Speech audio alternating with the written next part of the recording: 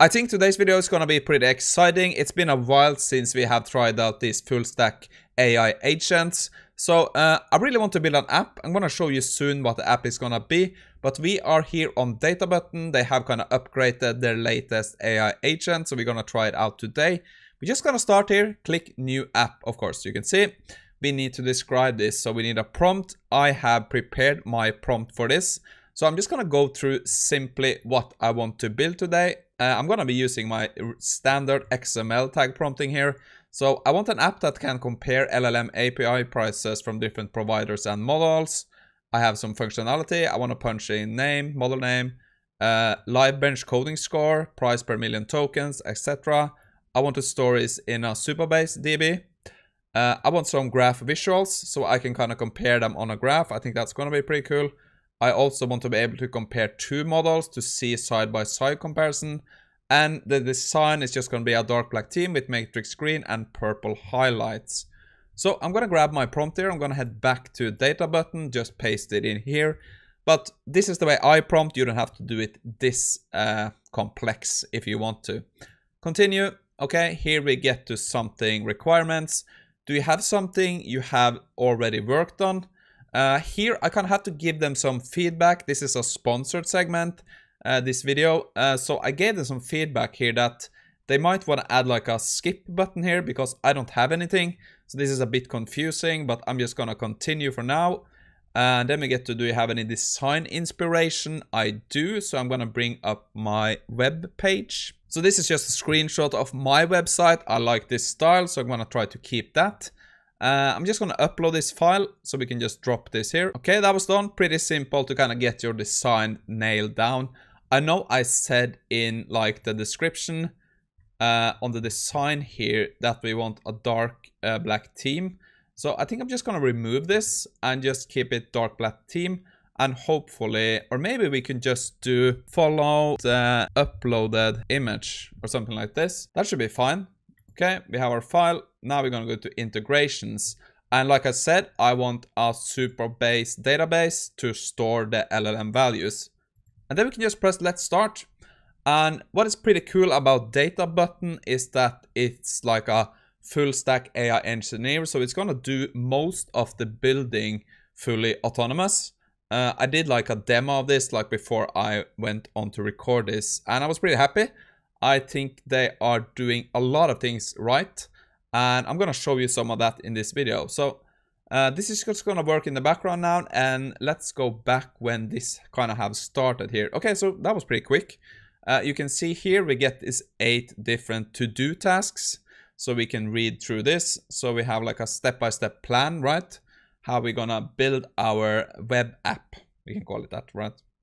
So I should just start uh, with uh, LLM1, that is the first task to create the landing page. Uh, what do you think about this? Yes, let's do it. So now you can see kind of the agent uh, from Databutton here is, uh, yeah, doing like a step-by-step -step plan. Uh, and it's gonna grab, of course, the to-do list we have here. The first step is gonna be to create a retro future listing landing page and we're just gonna build that using probably components and uh, TypeScript, I think. So uh, yeah, you can see, let's just let the agent run here and we can look at the preview when this is done. Okay, so we were done here. So here we can see it asked me, the only thing missing is the Press2P font for the pixel art typography. Would you like me to add that? So I'm just gonna do yes, uh, try that. But if you look at the preview, I think this is kind of lacking some uh, white because uh, if I when I uploaded this, uh, it was a bit more white in this. So I'm just gonna add add some more white highlights to the landing page too. Let's try that. And I'll be right back when the agent has kind of run through this and updated my code. Okay, so we had added the font, we have done some changes. If you look at the preview now, yeah, this looks much better. Uh, I guess this was a bit strange, but I think we can update this later. So for now, I'm kind of happy with my landing page. I like the font, I like the style. So now we can go back to uh, this. I can just go to the next step here now. So that's going to be LLM2 and click start task, right? Uh, but I also can go here and mark this as done. Uh, okay, I guess we have to wait for that. So let's complete task 2. and then we can mark task 1 as done, I think. So for task 2 here, we're just gonna set up our Supabase database. We probably have to enter our keys and URLs, and that should be pretty much it, I think. Okay, so we kind of have the code for the Supabase uh, DB now. The only thing we have to do now, we need to grab this uh, SQL code here that the agent present to us uh, because we need to create this. So we can just go to Supabase, SQL editor, paste this in and click run. Perfect. So that was a success. If we now go to our table editor, you can see we have a DB Hill called providers and we have a DB Hill called model. So this is the model name, right? Perfect. So that looks pretty good. There's one more thing we have to do. We have to give the agent our API settings to be able to connect to our database. So I'm just going to go to project settings and data API. I'm just gonna grab this URL and my key and feed that to the agent and then we can kind of continue. Okay, that was done. You can see it. Try to add some sample data here. So let's, uh, if we look at our database here, perfect. We have added some sample data. That worked good. I guess we can just delete this now because we don't need those. We want to add our own data later. Uh, but that means we are finished with step two. That's great. So I'm just gonna go mark step one as done now. Right, that's good. And I'm gonna mark step two as done, great. And now we can move on to our step three that is gonna create the model input form so we can add to our database. So we're just gonna start this task. And this is what I think is pretty cool about this uh, full stack uh, kind of autonomous AI agents, if you wanna call it that. Uh, is that while this is working in the background, I can edit my video as you're watching here. and there's a bunch of other stuff you can do while this is just running in the background. And I can head over to Cursor, right? I can do multiple things at the same time. So this is something I have been enjoying while playing around with Databutton for the last few days. So let's try to add some data here now. So you can see we have our add model page. I think we can open this in a bigger window here. So uh, let's try to add some data here. So let's do OpenAI. Let's do O3 Mini. Uh, I think the input price is something like 1.10 and the output price is 455.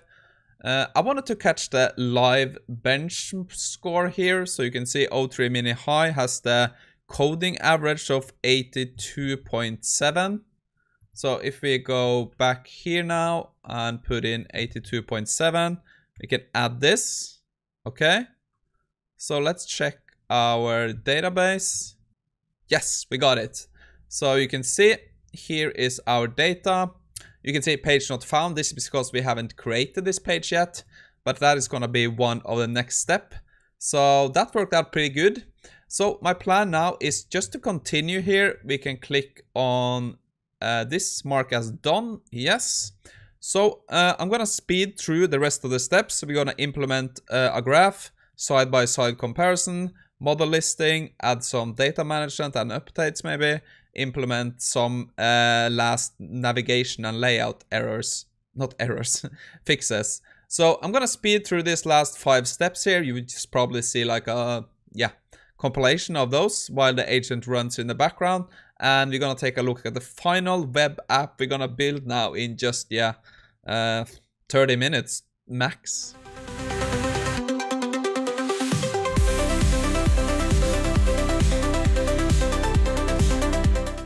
And that was about it. Now you can see all our steps are green and done.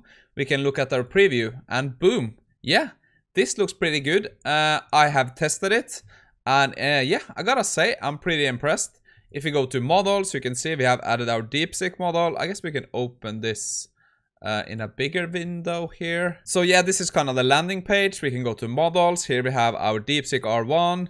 We have our prices. We can compare them. We can click on a graph. Here we can see where the models are plotted on this graph, right? And we can click on compare here. Here we can pick models. So let's do O3 Mini. Let's compare it with DeepSeek R1.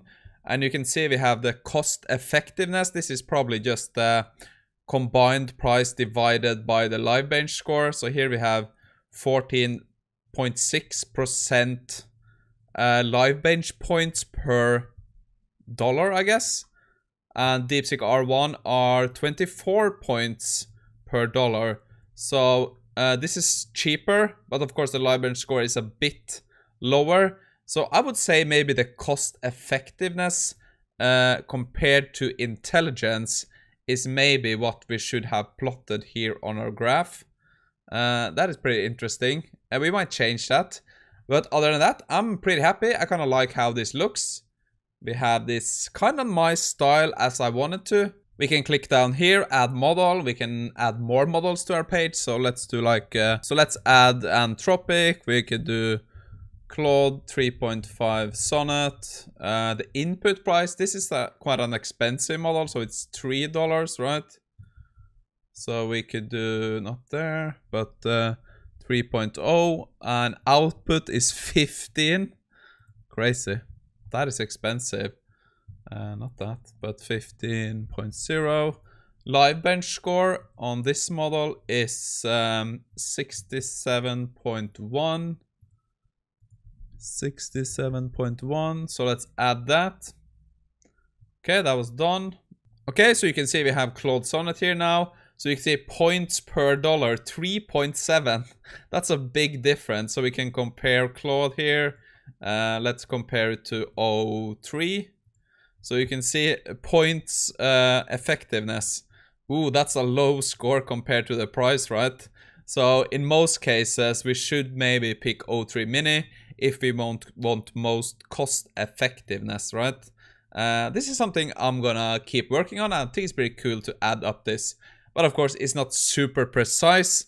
But I think it just showed uh, how easy it was to build uh, a fast app that I want to use myself using Databutton. And it was a breeze, right? Because uh, I just started the task and I checked in, I changed some stuff. So I can also go in here now and edit the code. Uh, I think there's an option you can export the code so you can continue working in Cursor. Uh, you can do this offline, right? And uh, what I didn't show was the settings. So here you can see your secrets, Supabase URL, Supabase key. So you can have control over that. You can add your other API keys. We have some control over the design here. We have extensions. Uh, so there's a lot of uh, things you can do afterwards, like a custom domain. So I think the next thing we want to do now is go back to our plan and click on the deploy button here. So when we click on deploy here, yeah, you have set a public account wide username to do that. So I'm just gonna pick a username. So let's do AAA Kris or something like this. Confirm this. Okay, so I set my name. I'm gonna click deploy. I'm gonna call it LLM bench. That's fine. Okay, LLM bench 2 deploy. And let's just let this run and see if we can get this live now. Okay, so let's just open our incognito windows, paste in this, and boom, we got it. How cool is that, right? So that kind of takes away how hard it is to deploy an app. So if you go to models now, you can see we are loading up our models here. Perfect. So this kind of takes away some of the hassle it is to deploy something. And for non-technical people, this could be very hard, like deploying on Vercel. There's a lot of stuff you gotta set up.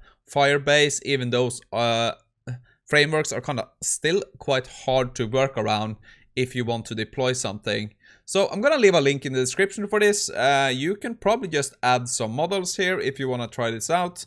You can start, uh, yeah, comparing models. And this app is something I'm gonna keep updating so I can just have some control of where the API pricers are going. So I'm super happy with this. I'm gonna keep continue using like Databutton here to create some of my front-end project. I think that's just super easy. And today I just showcased like a small set of things you can do with these full stack AI agents. There's just a bunch of more things you can do. Like Databutton here, for example, can run Python code. So I'm gonna keep exploring this. We're probably gonna be back with another video in the future where I will explore some more advanced stuff using Databutton. But super cool software, super cool product. And I think if you go down in the description now, there's gonna be a link where you can start trying this out at a discount. You will get some extra credits. So definitely go check them out. Super cool product. And these full stack AI agent, AI engineers are just here to stay, I think. And they're kind of changing the way we are working with our web apps. software as uh, you can call it like think about it like uh, software for your own use or like um, what you call it? Uh, something like uh, not throwaway almost like throwaway software. You can spin up like a quick app for just a simple thing and i think that's super cool. So like me and my friends we have created this uh, fantasy football app that we use like internally. Uh, there's no monetization we just play on it together and it's working super well. And yeah it's so fun playing around with these tools. I'll see far how see how far they have come already. So click the link in the description check them out super cool product. So yeah thank you for tuning in. Hope you learned something. Hope you wanted to try out to build your own stuff here. And i'll see you again very soon